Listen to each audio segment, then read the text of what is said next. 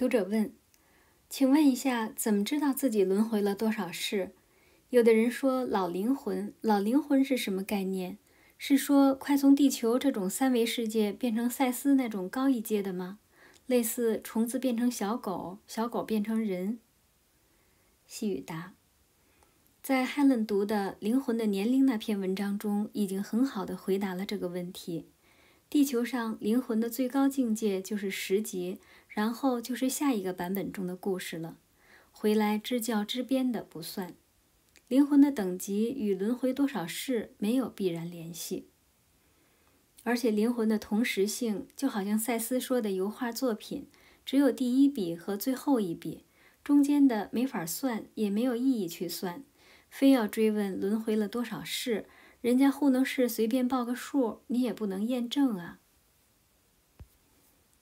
关于意识焦点的递进行为确实是存在的，但与我们固有的观念有很大的差异。就好像一个孩子会很认真地对蚂蚁、蝴蝶、知了、猫狗或其他什么凝视一下午，因为那是他所关注与好奇的。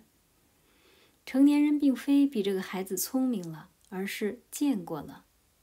而职业的动植物学家则会把一生多半的时间凝聚在某个物种里。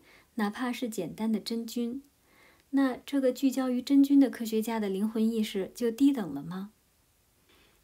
意识的聚焦点带来形态的认同，而非形态束缚着意识的高度。